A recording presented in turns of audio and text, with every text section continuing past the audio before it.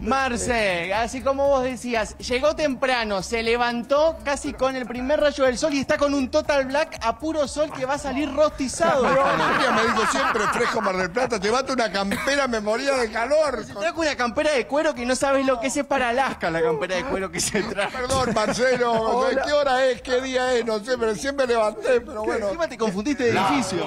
Sí, estoy feliz, estoy contento, pero bueno, con mucha expectativa para Argentina en la revista, la verdad que es un show espectacular. Me sorprendió al Suba, Leandro Ángelo, eh, eh, Lorena Lidi también en toda la producción, porque, mm, bueno, con Luisa ayer decíamos, eh, cuando hicimos el ensayo general, un espectáculo, un show para la familia y para todos, pero una revista como no veía hace mucho tiempo realmente, muy Hola, feliz. ¿lo puedo saludar? ¿Ya me escucha él? Hola, Nito, feliz año ante todo. Antes de comenzar, feliz año. Eh, ¿sabés Bueno, que- feliz año. Sabes que te adoro, que me encanta que mantengas viva la revista. Vos y Barbieri son como nuestros bastiones que mantienen la revista a full.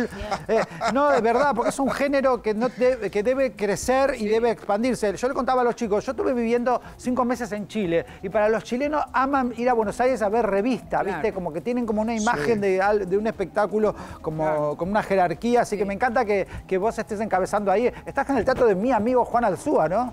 Me alegro. Sí, sí, con Juan una gran producción, como te decía, y, y la revista es un género cultural también argentino, quizá este, inmaterial, como, como lo es el chamameo, el tango.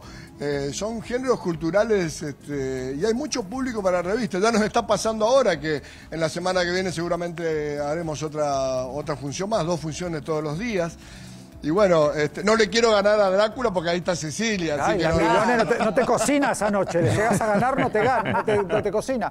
Nito, eh, hacíamos, ¿te acuerdas cuando hacíamos, No, sí. eh, ¿te acuerdas cuando hacíamos Cristina en el País de las. Maravillas? Ay. Hacíamos un una revista que se llamaba Cristina en el Me País de las acuerdo con vos. No, pero pará, voy a Que contar algo. Estuviste brillante, además, brillante. Sí, lo sabemos. No, pará, pero escuchame, no. Venía, venía todos los domingos Nito Artaza ante el saludo final y me decía, che, pibe, metimos 5.700 esta semana. Ay, Una época que no volverá nunca más, ¿o no? Ay, Era, era un momento histórico. Qué de- extraordinario, ¿Te acordás?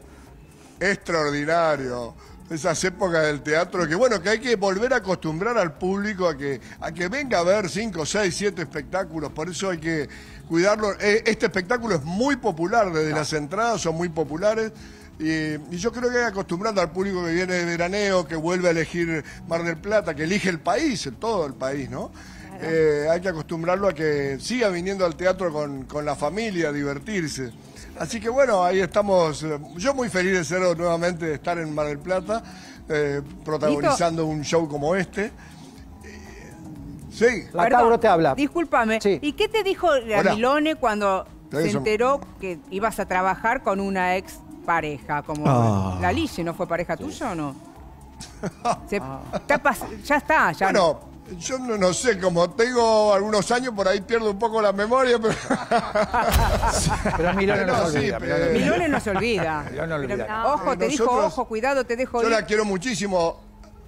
No, Cecilia en absoluto. Ah. Nosotros vivimos una realidad muy, muy hermosa. eh, y también este, Lorena, que tiene una familia hermosa, consolidada. Pero no hay este, celos, Nito, sé, y, honestamente. bueno, en su momento, eh, en su momento yo he tenido tantos conflictos, idas y vueltas.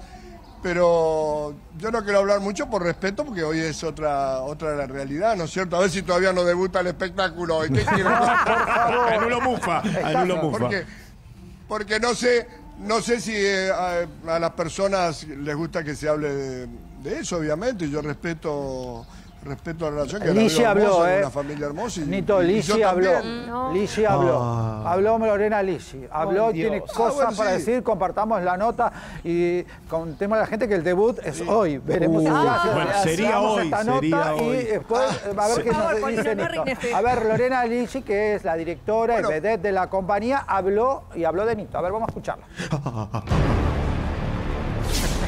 ¿Cómo surgió eh, el hecho de trabajar con Nito Artaza, de volver a trabajar con él? Eh, surgió eh, porque ya hace unos años veníamos hablando, tenemos que hacer algo juntos algún día, y en julio lo trajimos para hacer una función. Dijimos, bueno, probemos. Funcionó, y acá estamos. Ustedes tuvieron una historia que terminó con vos afuera del teatro, con el entorno de él iniciándote una demanda por salir a contar algo de, de- bueno, de, de la, de la relación que tenían en su momento. Eh, ¿Cómo quedó todo eso? Y ahora quedó, la verdad, ahora quedó todo en el pasado. Esto sucedió, sucedió hace mucho tiempo. Y después con el, con el correr de los años, eh, pasó. Somos, somos tan hipócritas en este ambiente, diría Carmen. Fue hace eh, muchos años. Fue cuando él... Incluso con, con Milone, no sé, fue todo Fue muy cuando mezclado, Milone todo muy raro. Chavó todo Claro. y vos quedaste en el medio porque él como que veía a las dos al mismo tiempo, a Milone y a vos. Nunca lo hablamos con Cecilia porque tenemos buena relación. Nunca hablaron de Hablamos una vez, pero dijimos, ya está, está todo bien. No, no, no llegamos Es a todo ver- culpa de Nito. Sí, no hablamos en profundidad ni nada. Es como que, ah, bueno, listo, todo bien. No recuerdo cómo fue. Fue porque yo empecé a estudiar teatro justo con la profe cuando él. cuando, cuando él estaba en su momento en pareja con la profe y ahí fue como que hubo un acercamiento. Ella los unió. Ponele, sí, algo así. Dijo que tenía ganas de volver a trabajar con Nito. Yo sé que tenés muchos artistas en Un escena. montón, somos 26. Ajá, pero tenés en carpeta a determinadas personas por si algún día llega a faltar o se llega a lesionar La alguno. llamamos a la profe, no hay problema. La ponemos ahí suplente. ¿Quién tiene la última palabra, Nito o vos? ¿De qué? De contratar a alguien, de pedir a alguien.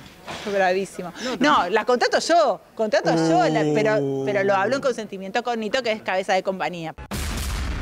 Bueno, bueno. Esto, esto viene fuerte porque Lorena Ligi viene por todo y dice que si tiene que poner una suplente la va a llevar a la profe. No, Fuerte. qué divino. Linda No. La profe quiere volver. quiere La volver. profe La contó pro- que quiere trabajar. con Nito, Sí, que quiere volver. No sé, Nito, cómo toma Hizo este comentario. Pobre Nito, mira que está Le todo vestido de negro con campera de cuero, con todo. le va a bajar la mirando, pre- Nito. le Llama va a la ambulancia, llama a la ahí. ambulancia.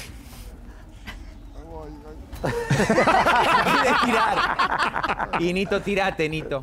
Se te junta todo el... te juntó el ganado. No, no. No, quería escaparme, digo, por algún lado. Para... No, pero, este, bueno, primero a Lorena la, la aprecio mucho y además siento orgullo que ella que ha trabajado mucho, como muchas chicas y, y chicos que han trabajado con nosotros y que, que hacen éxitos. Eh, y además siguen en este género y en otros, como la comedia musical que hemos hecho hace poco y hay gente trabajando y talentosa. Nito, no me hagas un zaraza. No me hagas un zaraza. Dijo que la va a contratar a la profe si necesita una suplente. ¿Qué le digo a Cecilia? ¿Qué le digo a la Ah, no, Milone? Mi amiga No, no, yo por lo menos no, no, no, no, no tengo, no, eso será problema de, de ella, no, no, no, no en esta temporada, digo, ¿no? Pero tienen todo su derecho. Pero obviamente. quedó- o sea, ¿Por qué estaría censurar a todo nadie? bien Me por- acuerdo, mira, Sí. yo pedí disculpas por, por esas cuestiones. Pedí disculpas una vez a Andrea Esteve, que nos vimos juntos en un programa, porque yo le había cambiado las escenas a partir de unos errores míos. Y también en su momento Lorena, que era muy joven, pues me pido disculpas y eh, me- creo que la separamos del, del- le pagué todo el contrato, inclusive. no tener inconvenientes. El Sana, sana, sana, compañía. pero no está bien eso, Pero, porque Nito, fue, pará, pará, fue Nito. una, una arbitrariedad y yo Nito. como hombre pido disculpas. Es que terminaba, dijiste pagando la... Eh, Espera, chicos, Yo siempre digo que los hombres tenemos que pedir Perdón, perdón. Vamos a ordenarnos, porque para los que no tenemos tanta memoria, no- ella que estaba, eh, Lorena Ligi estaba en un elenco y cuando salta el romance la desvincularon, eso fue lo que pasó. Eso fue Ella lo que Lorena. claro, ella Pero lo- que le estaba preguntando a Nito, porque Nito dijo en otra temporada la profe, pero recién Lorena dijo que la iba a llamar si necesitaba un reemplazo para esta temporada, no para otra temporada. ¿Cómo te caería vos esta convocatoria? Ah, ah, ah, este, eso es una decisión de, de empresa. Yo no, no, no, no, no, no. No, no soy empresario en este caso, soy contratado. Pero este eh, generalmente a mí lo que no me gusta es herir las susceptibilidades. Y hoy yo tengo Total. otra realidad muy clara Claro. con, Claro, Cecilia. y, a Pero mí, por este, eso, pero, pero no puedo ponerle, nunca puedo tachar a nadie, ni, ni, este, no, no sería, no puedo discriminar a nadie. Yo les deseo siempre suerte y a todas las personas que pasaron por mi vida que tengan suerte en lo personal y El que no va a tener suerte vas a ser vos, que te la van a poner toda en el mismo escenario.